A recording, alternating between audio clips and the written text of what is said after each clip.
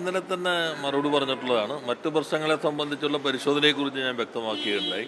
യഥാർത്ഥത്തിൽ പ്രതിപക്ഷ നേതാവിന്റെ ഞാൻ നോക്കുമ്പോൾ നേരത്തെ രണ്ട് ചോദ്യങ്ങൾ അദ്ദേഹം ഒഴിവാക്കിയിട്ടുണ്ട്. അത് ചിലപ്പോൾ അത് ഘട്ടഘട്ടമായി ബോധ്യമാകുന്നതിന്റെ ഭാഗമായിരിക്കാം. ഒന്ന് നേരത്തെ ഒരു ക്യാമറയ്ക്ക് മുപ്പത്തൊന്ന് ലക്ഷം രൂപയാണെന്നാണ് ആദ്യം പറഞ്ഞിരുന്നത്. അതിപ്പോൾ കാണുന്നില്ല.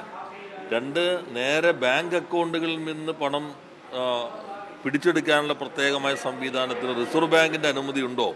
എന്നൊരു ചോദ്യവും ആദ്യത്തെ ദിവസം കാണുകയുണ്ടായി. ആ ചോദ്യവും ഇപ്പോൾ കാണുന്നില്ല. അപ്പോൾ രണ്ട് ചോദ്യങ്ങൾ എന്തായാലും അദ്ദേഹത്തിന് കൂടി ബോധ്യപ്പെട്ടതിന്റെ അടിസ്ഥാനത്തിൽ അതിനകത്ത് നിന്ന് പിന്മാറിയിട്ടുണ്ട്.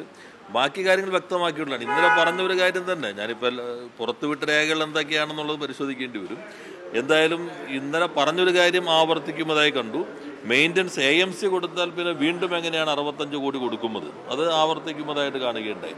അത് ഇന്നലെ തന്നെ വ്യക്തമാക്കിയതാണ്. മെയിന്റനൻസ് അല്ല അത് അതിന്റെ ഫെസിലിറ്റേഷൻ എന്ന് പറഞ്ഞാൽ ഈ ക്യാമറയിലൂടെ വരുന്ന വിവരങ്ങൾ കേന്ദ്ര സംസ്ഥാന സെന്ററിലും അതോടൊപ്പം തന്നെയുള്ള ഓരോ ജില്ലയിലെ ഡാറ്റാ സെന്ററുകൾ അവിടെയുള്ള ജീവനക്കാർ അവിടെ ഉള്ള മറ്റ് ഇന്റർനെറ്റ് കണക്ടിവിറ്റി അഞ്ച് വർഷത്തെ മറ്റ് സൗകര്യങ്ങൾ.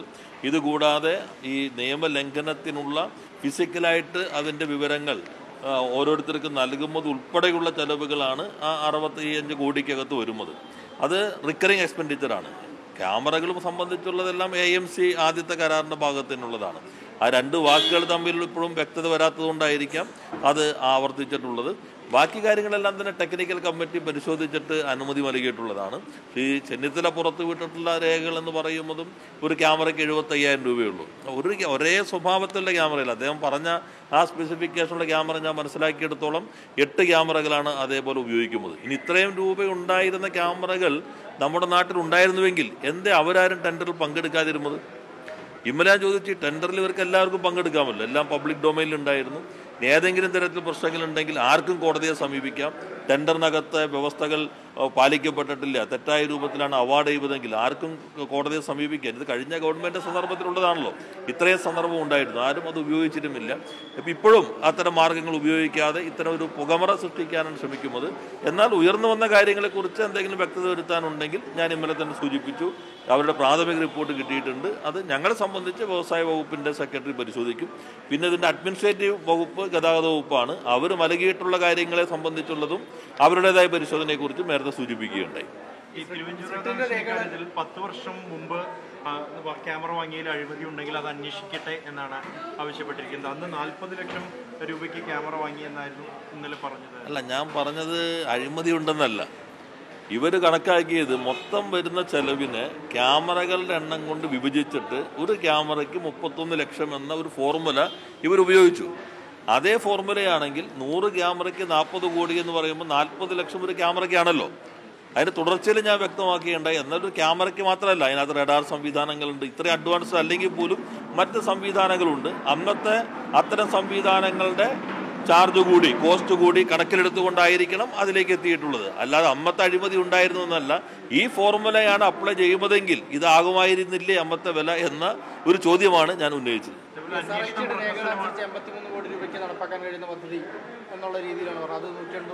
അതെങ്ങനെ? ഏത് തരത്തിൽ ഇവരൊക്കെ കണക്കിലേക്ക് എത്തും? നിങ്ങൾ ഈ പറയുന്ന കമ്പനിയെ കുറിച്ച് തന്നെ നേരെ പ്രൊഫൈൽ നോക്കിയാൽ മതിയല്ലോ. ആ കമ്പനി എന്തെല്ലാം ചെയ്യുന്നുണ്ട്? ടെക്നിക്കലായിട്ടുള്ള ബിഡിംഗ് ഉണ്ട് ഫിനാൻഷ്യൽ ബിഡിംഗ് ഉണ്ട്. അവന്റെ ഡോക്യുമെന്റുകളെല്ലാം തന്നെ കെൽട്രോൺ അതിന് അപ്ലോഡ് ചെയ്യുന്നുണ്ട്. അതെല്ലാം പബ്ലിക് ഡൊമൈനിലേക്ക് തന്നെ വരും. കെൽട്രോൺ നേരത്തെ പറഞ്ഞതുപോലെ സുതാര്യമായിട്ടാണ് കാര്യങ്ങൾ നടത്തിയിട്ടുള്ളത്. സബ് കോൺട്രാക്ട് സംബന്ധിച്ചുള്ള കാര്യങ്ങൾ അവർ റിപ്പോർട്ട് ചെയ്യണമെന്നുള്ളത് എന്ന വ്യവസ്ഥ അതിനകത്തുണ്ട്. ആ വ്യവസ്ഥയും പാലിച്ചിട്ടുണ്ട് എന്നുള്ളതാണ് കെൽട്രോണിൽ റിപ്പോർട്ട് മനസ്സിലാക്കുന്നത്. എന്നാൽ ഇത് സംബന്ധിച്ച് വന്ന എല്ലാ വിവരങ്ങളും ചേർത്ത് വെച്ച് വ്യവസായ വകുപ്പിനെ സംബന്ധിച്ച് ഒരു പരിശോധന കെൽട്രോൺ എന്നതിൽ നടത്തും. പിന്നെ ഓരോ കാര്യങ്ങളും ഇപ്പോൾ നമ്മൾ വിക്രാന്ത്. ഏറ്റവും വലിയ ഇൻഡിജിനിയസ് ആയിട്ടുള്ള കപ്പലാണല്ലോ. ആ വിക്രാന്തിൽ എത്രയോ കമ്പനികൾ സബ് കോൺട്രാക്ട് ഉണ്ട് നൂറ് എം എസ് എമ്മുകൾ അതിനകത്ത് സബ് കോൺട്രാക്ട് ഉണ്ട്. കെൽട്രോൺ സബ് കോൺട്രാക്ട് ഉണ്ട്. അങ്ങനെ പലതിനും ഒത്തിരിയേറെ സബ് കോൺട്രാക്റ്റിൽ വേണ്ടി വരും. കെൽട്രോണും പരമാവധി അതിന്റെ സ്വന്തമായിട്ടുള്ള ഉൽപ്പാദനത്തിലേക്ക് മാറുന്നതിനാണ് ഞങ്ങൾ ശ്രമിച്ചുകൊണ്ടിരിക്കുന്നത്. ആ ശ്രമം മുന്നേറി നന്നായി മുന്നേറിയാൽ പോലും ചില ഘടകങ്ങൾക്ക് വീണ്ടും മറ്റ് സംവിധാനങ്ങളെ ആശ്രയിക്കേണ്ടി വരും. അപ്പോൾ നല്ല രീതിയിലാണ് കെൽട്രോൺ പ്രവർത്തിച്ചുകൊണ്ടിരിക്കുന്നത്. അത്തരം കാര്യങ്ങൾ ഞാൻ ഇന്നലെ തന്നെ വ്യക്തമാക്കിയിട്ടുള്ളതാണ്. ഈ വിജിത്ത് ക്ലിഫേഴ്സുമായി എന്നാ വലിയ ബന്ധമുള്ള ആളാണ് എന്നൊക്കെ പറയുന്നുണ്ട്. പറയുന്നവരല്ലേ വ്യക്തമാക്കേണ്ടത്. ജുഡീഷ്യൽ എൻക്വയറി വേണമെന്നുള്ള കാര്യം ആവശ്യം ഉന്നയിച്ചിട്ടുണ്ട്. അത്രയും നന്നായി. എന്നാൽ സി ബി ഐക്ക് പോയില്ലല്ലോ. കീഴുദ്യോഗസ്ഥർ അന്വേഷിച്ച സത്യം പുറത്തു വരൂ. അന്വേഷണം പ്രഹസനമാണ് എന്നാണ് കീഴുദ്യോഗസ്ഥരല്ലല്ലോ. ഇപ്പൊ കെൽട്രോൺ വ്യവസായ വകുപ്പിന് കീഴിലുള്ള സ്ഥാപനമാണ്. അവരുടെ അവർ നൽകിയ പ്രാഥമിക റിപ്പോർട്ടിനെ അടിസ്ഥാനപ്പെടുത്തിക്കൊണ്ടുള്ള കാര്യങ്ങൾ ഞാൻ ഇവിടെ വ്യക്തമാക്കി.